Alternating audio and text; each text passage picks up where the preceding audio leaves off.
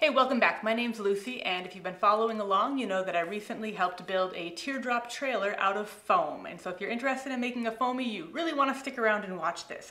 So I realized when I tried painting a piece of foam with spray paint that it started to eat the foam. So that gave me an idea that I better try everything before using it, whether it was a sealant, an adhesive, or a paint. So uh, Anyway, I'm going to recreate some of these experiments and then we can find out what adhesive is going to be best for your foamie. And we're off. So first I cut all the foam pieces into 3 inch by 3 inch squares so that I would have the most consistent results. All right, so I'm setting up my test. I'm going to test Gorilla Glue, Gorilla Glue Clear, Wood Glue, and Foam Fusion. I'm going to be testing a butt joint with no tape because sometimes when you're building a foamie, it is difficult to get any angle to be able to clamp.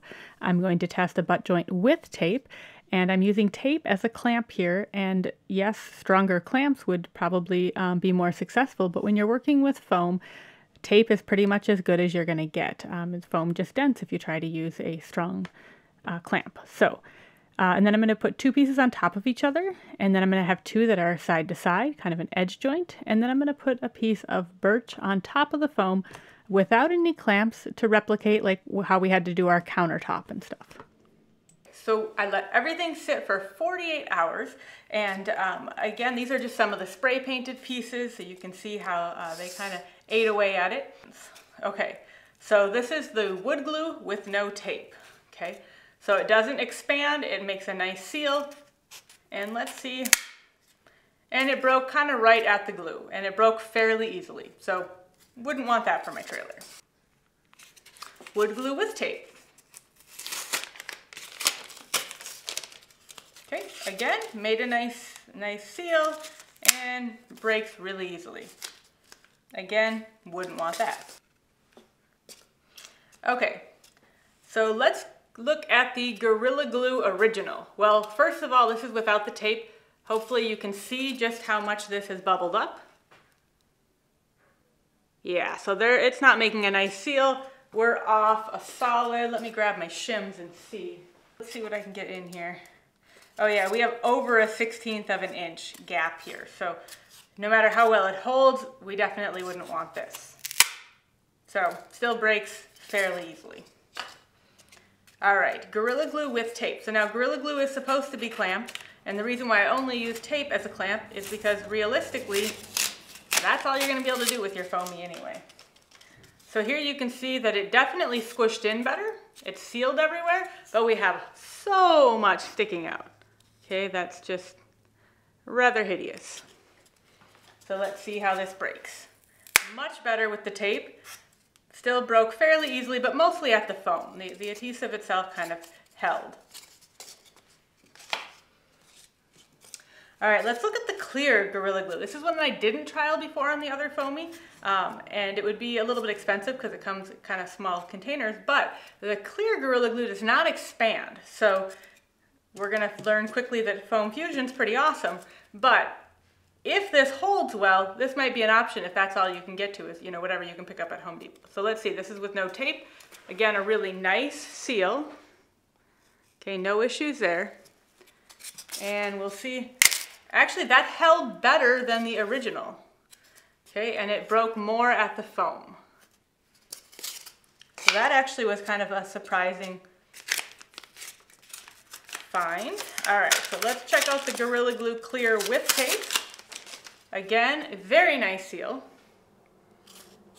No issues there, and let's break it. So that one kind of snapped right at the seam, but it was okay. All right, so let's check out foam fusion. So this was kind of a last minute thing that we discovered was this foam fusion. And it was amazing to work with because it just kind of feels like Elmer's glue. So it cleaned up really easily and it, it dries crystal clear. So this is without tape. Okay, and let's see how this breaks. Okay, so that really, it, you can kind of see that it kind of welds the foam together a little bit more. So that took a lot more force to break off. Okay, that was without the tape. Let's try the one with the tape. Okay, so again, we see a really nice seal, no expansion. Okay, and let's try to break it. Okay, so that clearly broke just at the foam. The adhesive is totally, totally held. The foam was the weak point. All right, so that's pretty cool. So foam fusion totally wins that battle. Now, let's see the ones that we glued together this way. Let's see if we can even pry them apart. So let's start with what was the weakest, was the wood glue. Okay, so the wood glue still came apart at the seam. So definitely wood glue, and it's actually still wet on the inside after 48 hours. So definitely wood glue is totally out. All right, the Gorilla Glue original, again, expanded a bunch. So this stuff's such a mess to work with. Plus, with both of the Gorilla Glues, you have to wet one side of it. So um, the Foam Fusion, you have to do that, which is really nice. And I'm not affiliated with any of these products. So again, you can just see the mess coming out here. But let's see if we can break this apart. Okay, I'd have to say the hole is definitely plenty sufficient. Okay, so yeah, I'm just breaking the foam. So definitely the Gorilla Glue is plenty strong. All right, the Foam Fusion. Again, this one's a really nice, tight seal, dries clear, so it looks really nice, easy to work with.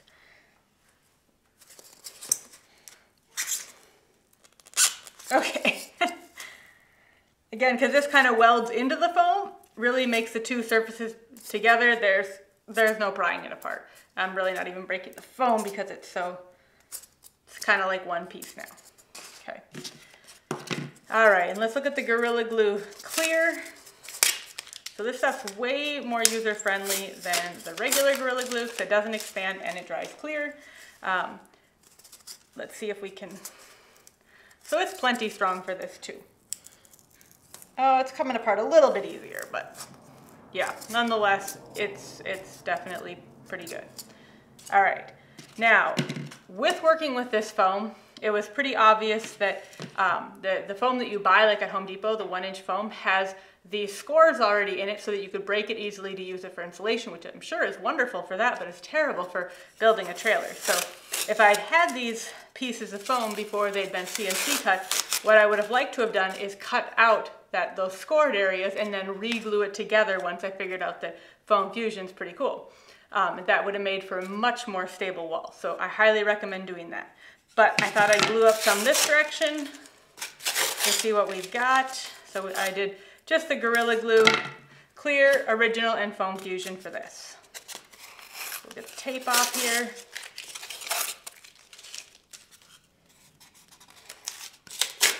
and just see how strong it is being glued that direction. All right, so again, Gorilla Glue Original did hold together better with the tape, but it's, uh, again, really messy. All right, and it broke at the foam, so definitely totally strong enough.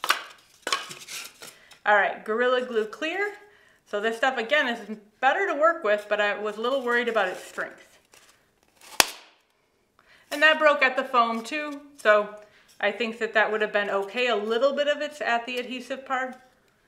So not quite as strong, but probably okay. And then the foam fusion, again, really nice to work with, really clean lines. Okay, so it really broke far into the foam. Um, like we're well over a quarter of an inch into the foam because again, it really welds the two pieces together. So again, foam fusion, hands down the winner to me. And then I did two long boards here. Um, this kind of replicated how we had to do like the countertop where you can't really clamp very well and what a mess it would have been if we would have ended up using Gorilla Glue, which was the original plan.